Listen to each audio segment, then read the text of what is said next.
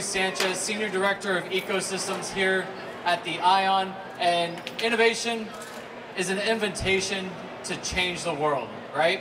Everybody here today seeing the BattleBot, seeing Robotica, really the world is a better place because of the innovation that's happening today and it's happening here in this room. Uh, but we need a lot more in order to do that. My one question I want to start with is, where will you be in 2036? Think about it.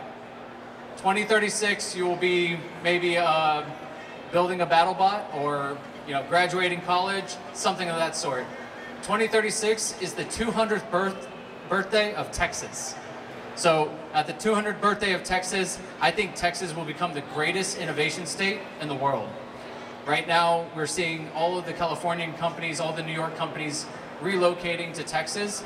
And here at the ION, we have something for you guys to change the way you look at our city and our region as a whole. David? So Houston is atop the city of the future. Right now, we are seeing more tech talent flowing into our city than ever before. We have more engineering talent in our region than 10 cities combined in America. So what we're seeing that this Houston development, the future of Houston, is really happening.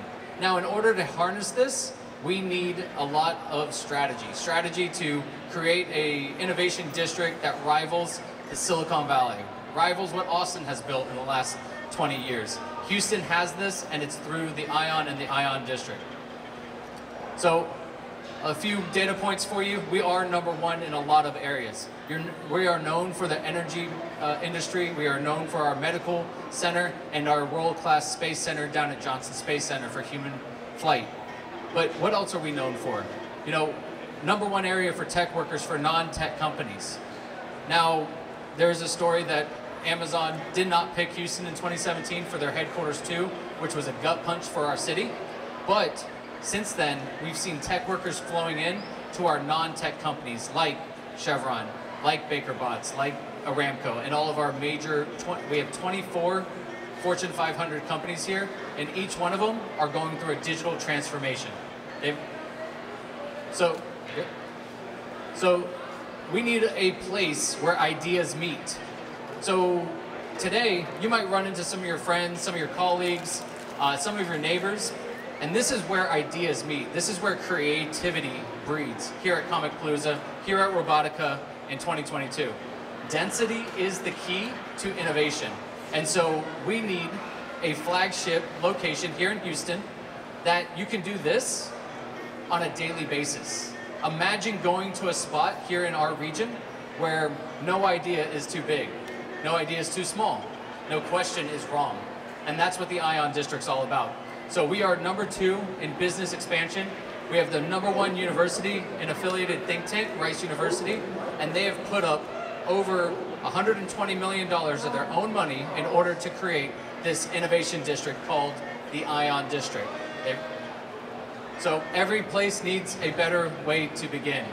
This rendering right here is where the old Sears is in Midtown. Does anybody, uh, some of you shopped at Sears, right?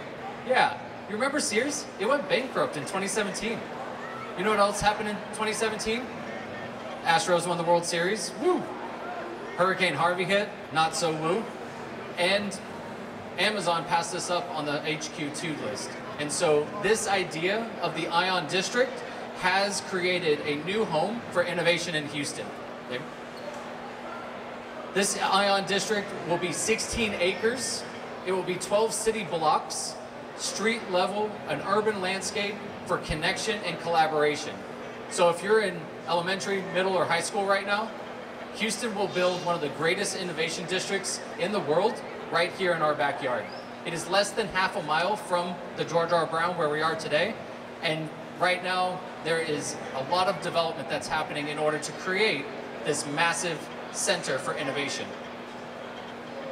So this 12 district block is going to be a tech hub a thought leader, a cultural core, and a global player on the innovation ecosystem. Houston's already known for innovation. We landed humans on the moon. We created the first artificial heart. We drill three miles down and three miles to the left. Although that may not be the most popular technique at the moment, It is innovative, and we need to find the next innovation in order to guide this energy transition that's happening right now, to explore how humans can live longer and fuller lives, and then finally, how can we take people not only to the moon, but to Mars and beyond. That's the inspiration of our backyard, and that's what the Innovation District, the ION District, is all about. So there's five guided themes in order to create this innovation district here in Houston. First is creation. That's why I love this space we're in right now. The amount of imagination, storytelling, and creation that is flowing through this hall right now is palpable. You can feel the, the creativity just pouring out. Now, Houston's not known for that. We have friends to our west, they say keep Austin weird. I say keep Austin. I would think Houston is probably more eccentric, more eclectic, and more innovative and creative than any other city in Texas. We just don't tell our story well enough. So after today, go out and tell your story, share your story with everybody around you because you matter to this innovation ecosystem in Houston. Dedication. Someone told me that unreasonable repetition is how you build a business and parent kids. Well, it's also how you get your point across. It's through dedication. It's through constant, it's like waves hitting the sand, just constantly, you know, reinforcing the ideas, the mentality, the thoughts of the future. And Rice University, just south of here, uh, on the red line, you can actually hit it via our public transport, is dedicated to this region, so much so that they've created this ION district for all of us. The ION district is not a Rice University campus, it is a campus for innovation. It is a community center for innovation. And connection. Like I said, the red line, the, this city, it culminates through three loops, seven different freeways coming together all into one spot. It's almost like a target and you hit right in the middle, the bullseye, you'll find the Innovation District. It's at the middle, at the core of our city. It's where the old Sears building used to be. So that Sears building was decommissioned back in 2017, and in 2019 we broke ground on the ION. It's a $120 million investment. They reimagined this Sears building to turn it into something great. And it's 300,000 square foot innovation hub right here in our backyard. So if you're interested in it, come on by and, and see what you can do with us. Dave? Production. In Houston, we build things. That's what robotic is all about. That's what the battle bots next to us are all about. It's the electrical engineers talking with the mechanical engineers, talking with the software engineers to build physical devices. Now, other cities are known for software only, and software is great, but the new wave of the internet, the third wave of the internet, is all about the physical wave of the internet. Soon, all of our devices, from our clothes to our shoes, to our tables and our chairs, will all be connected to the internet to create a connected, uh, efficient world, right? Who's going to build all of that? Houston is actually perfectly placed to build that physicalness of the internet. So very excited to see that production, that job generating, you know, system so that if someone's here and they're an electrical engineer and they want a job at a startup or an innovative company, the ION is there for them. And immersion. Once you get to the ION district, this 12 city block district, it will be street level, connected, friendly, and immersive. You will be able to run into friends, colleagues, just like you do today, but on a daily basis. We have a weekly networking event that we host there called Cup of Joey on every Friday, 8.30 a.m. to 10.30. I hope you all can come by, get a cup of coffee, and connect with our ecosystem because immersion is really how we get people and ideas connected. Here's a nice little map of what I'm talking about. So if you're walking by today and you don't know what the ION is, take a look at the screen and check out where we are today and where the ION is located. So you see downtown, you see the Texas Medical Center, which is the largest medical center in the world. In the middle, we have Midtown. And the old Sears building has already been converted into the ION. And if you're familiar with Manhattan, Manhattan's a three mile stretch of land, or an island, essentially, in New York. We're building our Manhattan right now. density is key to innovation. If you don't have the ability to collaborate, you won't have the ability to innovate. And so having Rice University, Texas Medical Center, Ion District, and downtown, we're finding that this will become the last piece to the future of Houston. And we're really looking forward to having you guys all there. And it's at the center of a 15 minute city. Our city's sprawl has actually been one of our biggest challenges. How many drove more than 30 minutes to get here today? Exactly. It's a big ass city. And that does not make for a very easy connection city. So we need to create a 15 minute city so that you can have events like this on the regular. So that you can have connections with people that you meet one day and you see them the next week and you build an honest, true relationship. And so having public transportation, you know, science and research centers, educational institutions, and population at over 350,000 within walking distance, that's how you create density, that's how you create innovation, and that's what the ION district is really all about. So this neighborhood is, is vibrant, it's exciting. We're just uh, at the epicenter of four amazing neighborhoods, from 3rd Ward to the east, to Montrose to the west, Midtown to the north, and the Museum District to our south. We have cultural institutions. We have everything all in one spot. And that's really why we believe the Ion District has the ability to be the next spot for Houston. David, next on. And if all of these slides, I do want you guys to share them. It will be on iondistrict.com. This is a new idea. It opened up May 9th through the 13th of 2022. We opened officially August 20, uh, August 21st of 2021, but COVID had different plans for us, as it did for the rest of the world. So innovation districts work because of certain principles. Creating an anchor in the district with a tech hub with over 500 tech workers located there every single day, with investors and startups, with corporate innovators, with media, with government, and with colleges and universities. So this district offers that all, all in one hub. All together, we have the opportunity to, to change Houston's perception because I believe that's one of our biggest challenges as well. Not only our sprawl, but our perception as a city. We are seen as just a regular old city, not the fourth largest city in the greatest country in the world, but just a regular Texas city. I think we're much more than that, but this district is going to show that to the world we have to have all the players come to come to the table. And that's from the creatives here at Comicpalooza, the innovators, the, the uh, engineers, the corporate innovation. We just signed a NASA Space Act agreement. This is now publicly official. We just signed a NASA Space Act agreement two days ago with NASA in order to have a Center for Space Innovation inside the ION. Because many people know us as Space City, the gentleman has his Astro Space City shirt on. But are we really Space City? That is a challenge that we have to ask ourselves. Are we the Space City of the future? But this innovation district has planted a flag and believes that Texas will have a flag on the moon in the next 10 years. David? So this development plan, the ION is available, it's open, it's welcoming.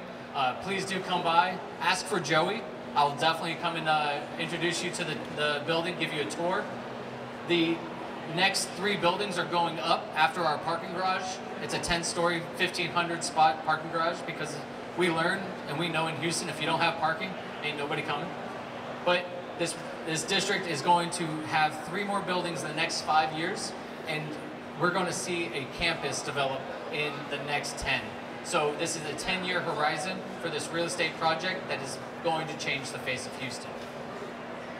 Walkable, bikeable, transit friendly. People say Houston's hot, but I believe eight months out of the year, it is one of the best climates in the country, where you can get outside, have fun, connect with others, and this centrally located, bikeable, transit-friendly district, I believe Houston's going to see a spur in its public transportation in the next five years. Next to the museums, next to Hermann Park, drive time to golf, if any golfers, not today maybe. Next. The ION building really is here to accelerate innovation by connecting communities. If you walk through this, the halls today of Comicpalooza, you'll see the different types of creatives, different types of comics, and you see how they connect and they collaborate, and sometimes they cross over. And those are the most beautiful moments, is when communities work together and they create something new that is a mashup, a remix. And that's what we need more of here in Houston. We are the most diverse city in the country, but we need to connect and collaborate more. A little history on the Sears building. Did any, I asked if people shopped at Sears or knew what it was. So in 1939, the Sears on Main Street was opened. They had an innovation of the time. They had a Sears catalog that you could shop from home. Anything from a house to underwear, you could order on this catalog and it would be shipped to your location. Now, unfortunately, they sunsetted that Sears catalog in 1993. And in 1997, a small company was created called Amazon. If they would have had the forethought to put that catalog on the internet, they would have crushed Amazon before it got started. Now think about the robots that are in the warehouse of Amazon and where Sears is sitting today. Sears is bankrupt and no longer a company. And, you know, Sears is now the largest company in the world. That's what this innovation center is trying to warn the rest of Houston is who's having their Sears moment right now. So the purpose-built space for tech and innovation. We have a Makers Hub, a, a prototyping lab, located on our lobby floor. So if you're interested in building a prototype, if you're interested in using 3D printers or laser cutters, electronic manufacturing equipment, we host this here in the building. We have it available to all. This is already a paid for building. You walk in and you're able to inquire about how to be a part of the Makers Hub. It's called the ION Prototyping Lab. And then we also have plenty of things to do on a weekly basis when it comes to networking, to events, and, and more. It's backed by Rice University, like I said.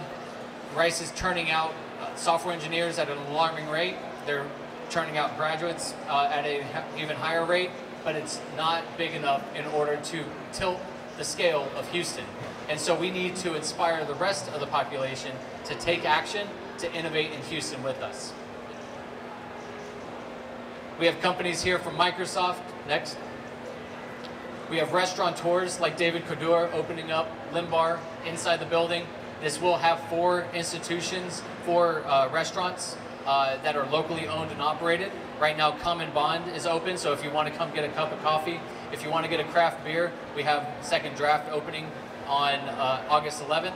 But we are really building a Houston-led innovation center. And young engineers and recent college graduates see Miami, Houston, Philadelphia, not San Francisco, New York, or Seattle as the hot new markets.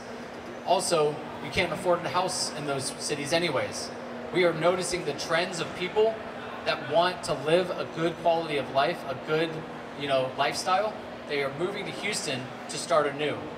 U-Haul, actually, the number one city for U-Haul uh, transportations from pickups to deliveries is Houston.